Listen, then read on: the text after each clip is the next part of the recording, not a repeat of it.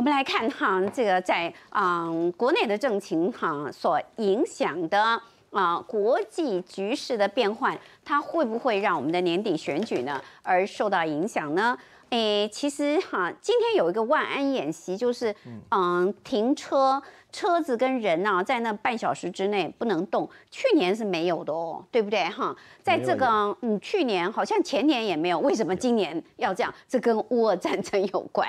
那因为我们呢，在乌俄战争之后，发现真正的演习啊是啊必须啊这个比较严肃处理的。那佩洛西，美国的众院议长，如果执意要来台湾的话，啊 当天会不会有空袭警报啊？我们来看这个新闻是怎么回事？是英国的哈媒体《金融时报》先放消息出来啊，放这个消息出来之后，有记者去问了拜登，拜登他说他不是很了解状况，但是他透露了一个国家机密，就是美国的机密，说军方有不同的看法。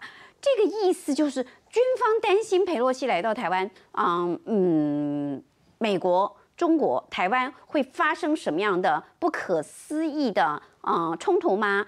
但是这个消息出来之后，更震撼的就是，那就问佩洛西了。那佩洛西难道吓得不敢来了吗？中国气得跳脚。所以现在有两种说法，一种说法是现在逼着佩洛西非来不可，因为你不来就是怕了老公。那另外一个说法是，如果佩洛西飞来，那老公是不是被逼的非要开枪打他的飞机呢？所以今天庞佩欧说我要跟他一起来，然后另外还有人说航空母舰呢要在下面来哈保护佩洛西。不管怎样，这个新闻的发展，我们哈提供给大家来现场来分析一下，到底佩佩洛西会不会来。传说近期可能二度访台的美国前国务卿庞佩欧在推特发文，take 上众议院议长佩洛西，高呼“我和你一起去台湾”，表示自己虽然被中国禁止入境，但并不包含热爱自由的台湾，只说到时候台湾见，力挺佩洛西的访台行。因为在消息传出后，不止引发北京激烈反对，也让美国政府陷入两难。The military thinks it's not a good idea right now, but. I, I, don't know what the status of it is. My travel plans. It's a national. It's a security issue. Uh, if we want to have a discussion about that, I think that it's important for us to show support uh, for Taiwan. I think what the president was saying is the maybe the military was afraid our plane would get shot down or something like that by the Chinese. I don't know exactly. I didn't see it. I didn't hear it. 面对中国官方多次言辞恫吓，指出如果美方一意孤行，必定采取有力措施。华盛顿邮报专栏作家就分析，美军可能调动航母或是战机，为佩洛西搭乘的军机提供空中支援。一个美国的第三号的政治精英，呃，不可能会被中共这样子恫吓就改变它的行程。美国空军的战机或海军航空母舰的舰载机，呃，甚至是呃战区的防空的单位，都会确保这些要员的这个飞行的自由跟安全。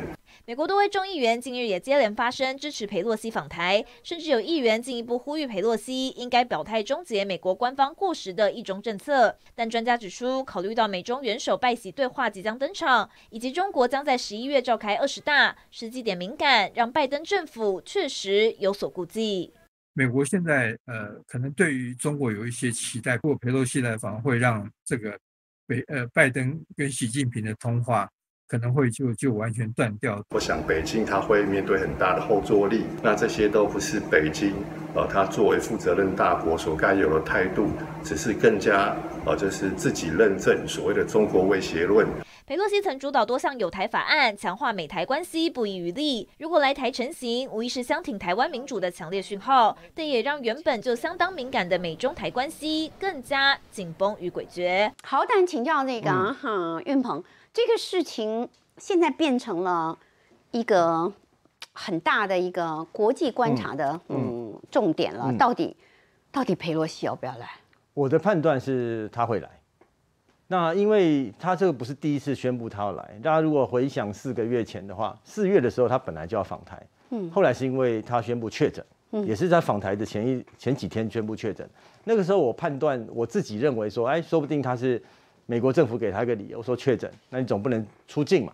即使他来台湾有一个外交的礼遇，有一个外交的泡泡，但是你确诊了，他按美国这边就他必须要调养，因为毕竟他算是一位年龄相对偏高的资深美女的那个中医中院长然后讲真的，他他的确那个年龄确诊的确是有一些风险，也不宜移动。那我就判断说，那他如果他再也不来的话，那个有可能确诊是一个借口。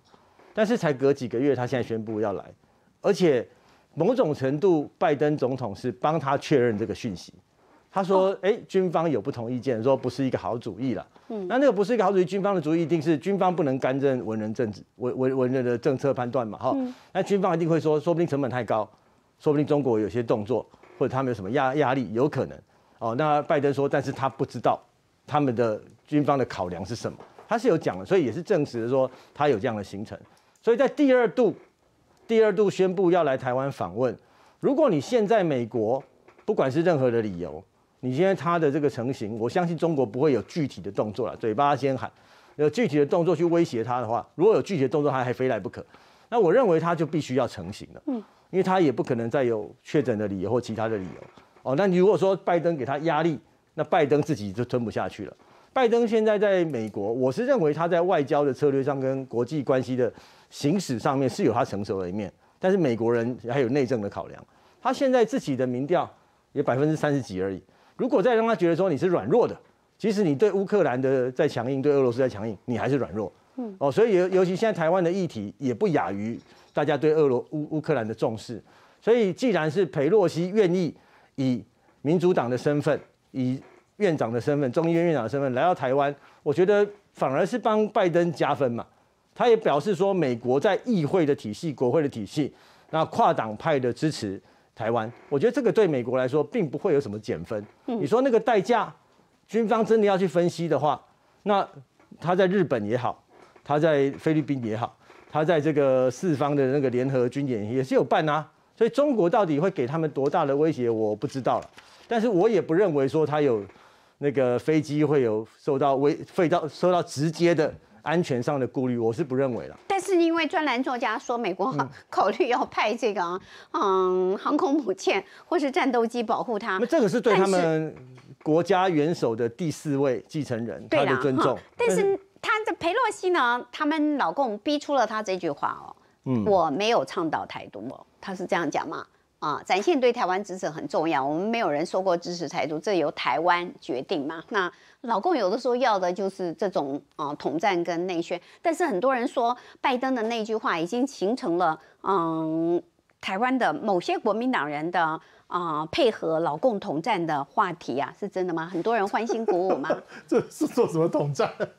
那 我想这个新闻出来之后，我觉得呃。感觉起来，因为我们看很多都是一些相关的新闻报道。因为拜登讲那句话，让有一些讨厌呢蔡英文的人就很高兴啊。我觉得反对 佩洛西来台湾的，应该最最反对力量最大就是美国国务院吧，还有美国白宫吧。今天是军方，好不好？他没有讲国务院，军方怕飞机被打下来。但他拿是他是拿军方的判断来去。